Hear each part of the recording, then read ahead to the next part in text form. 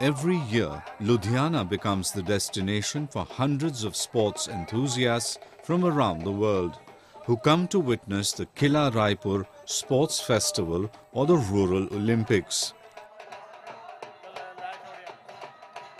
In the 80th edition of the Rural Olympics held in Kila Raipur near Ludhiana, children, youngsters and veterans exhibited their courage and skill.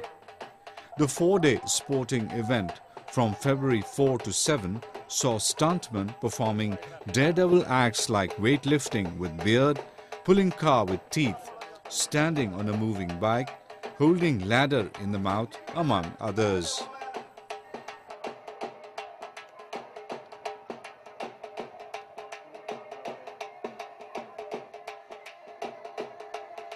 sportspersons displayed their agility and dexterity in a plethora of other sports like shot put, weightlifting, paragliding and karate.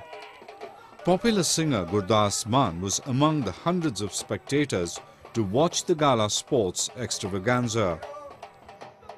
मैं तो किला को इस इसके लिए एक Mecca Medina मानता हूँ खिलाड़ियों का क्योंकि इन लोगों ने इस ऑर्गेनाइजेशन ने उन पुराने ये जो खिलाड़ी हैं ऐसे काम करने वाले जो जो उनकी पुरानी गेम्स हैं उसको संभाल के रखा है और ये चलता रहना चाहिए The sporting event started in 1933 with only wrestling and athletics. Sports lovers from around the world flock to witness the unique sporting event. यहाँ पे अच्छा लगता है मतलब बढ़िया किला रायपुर और ये बच्चों को बहुत रिस्पांस करते हैं और अच्छी इसलिए यहाँ पे खेलने के लिए आते हैं This is my first time coming here and uh, I came to see the Rural Olympics and uh, I think it's really interesting because the games are very different from the ones that they play in America. These games not only promote sportsmanship but also help develop closer people-to-people -people contact.